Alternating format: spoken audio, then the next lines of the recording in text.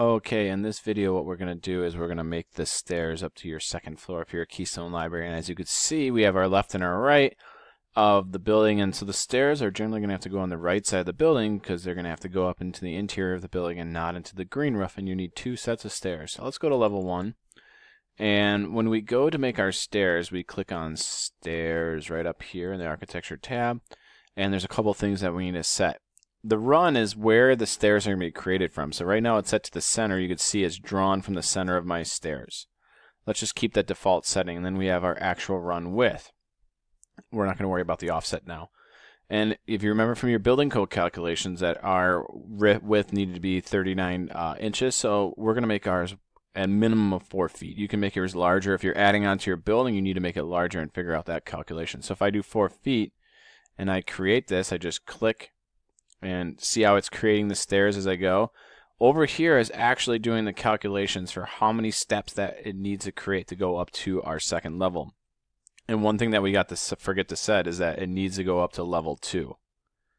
And when we go and we create this, it's telling us we need to make 35 steps. So when I click and I create, I actually need to physically go and make each one of those steps. You can see down here at the bottom, it's telling me how many steps I created. So if I just hit a straight run, and I did all my 35 steps and I green checked it. And let's just put a simple camera view in there. And we looked at that. There's our stairs and you can see it's kind of you know a strange staircase because I mean if you imagine going up the stairs it'd be very long. Obviously it's going into the beams and we'll move this um, later. But you know you'd have a landing on there of some sort at least one or two landings uh, so people could uh, kind of rest and not kill themselves. So let's go back to level one and what I like to do is when I make my stairs, I kind of like to design where my landing's going to be. So to do that, I go into my model line and I'm just going to make a simple landing. So let's imagine my stairs are going in this corner. I'm going to do it in between these uh, two columns. And I know that my landing, if I made a line, had to be four feet. So I could just draw it four feet. Now I could make my landing probably a minimum would be about nine feet because I would need room for the railings. Um, I'm gonna make it 10 just to make it a little bit bigger. And there would be a guide for where my landing's gonna go. Now the other thing I like to do is think about how far I want my steps to come out.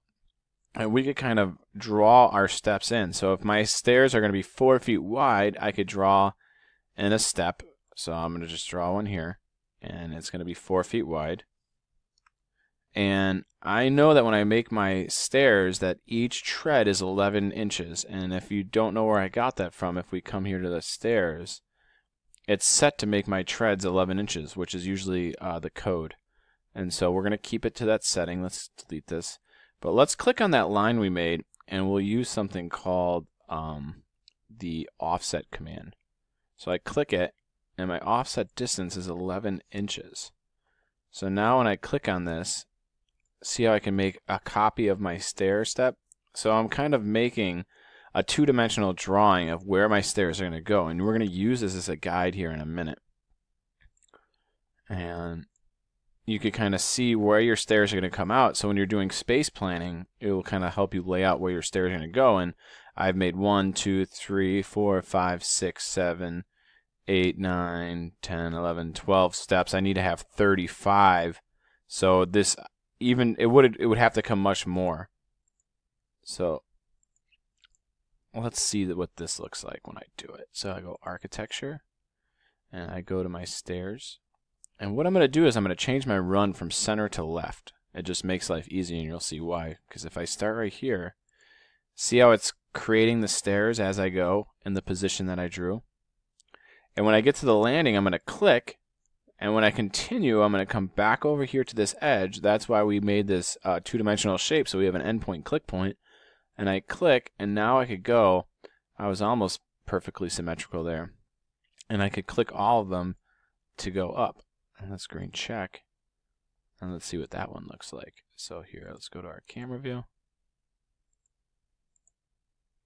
And so that looks a little bit more realistic the nice thing is here is now I could kind of use this space underneath here. Maybe I make it into a janitor's closet or some sort of uh, useful space that I could store stuff or do something with it. So that's how I could do a landing. If you wanted to get uh, a little bit more creative and you wanted to make like a square stairs that went up here, this entire area, and we wanted to have the stair start maybe right here, I like to do the same thing. Remember, we go to the model line. I'm going to simulate my landing. I'll stick with that four feet. And let's go all the way down here. Let's get crazy. And so there would be my landing. Now I could draw in my stair again. And let's draw a four foot stair. Maybe let's let's do five feet. Let's let's really live. And there's my stair, so if I come up to my offset again, I can take and make some steps and have it come out this way. And then maybe I draw another line over here. I draw that five feet as well. I use my offset. Oop, wrong one. And I know I need 35 steps, so you could clearly see if I go and let's do one more this way. If I line these up, now maybe I'm going to make another rectangle shape here, and you'll see why in a second.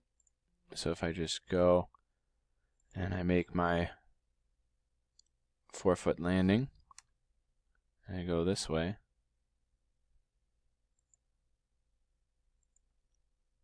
looks like I forgot one more step. Now, when I start these stairs, I do architecture, I do stairs, and I'm making sure I set it to go to level 2 and I do my run at my left, and I start here, go up, I come to this point, I go up, and then now I come all the way back over to here, I go up again,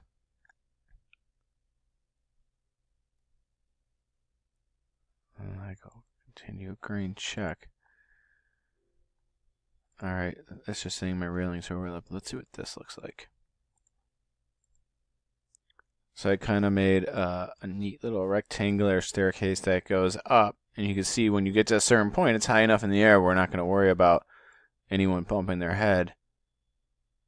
And I like this because it's similar to the Evanson Library where you could have an art installation hanging down the middle.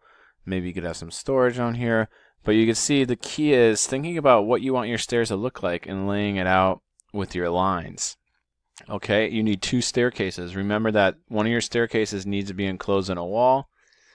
So maybe for this one, I would just have a... Oh, let's change it to our interior partition wall. I would have a wall going around it.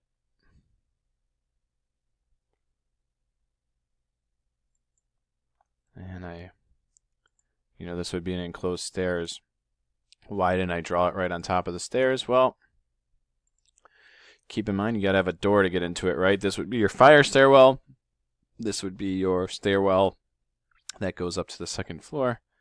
And so um, that's how we draw our stairs. And the best way to do it is making sure that you set uh, a 2D drawing to kind of click onto.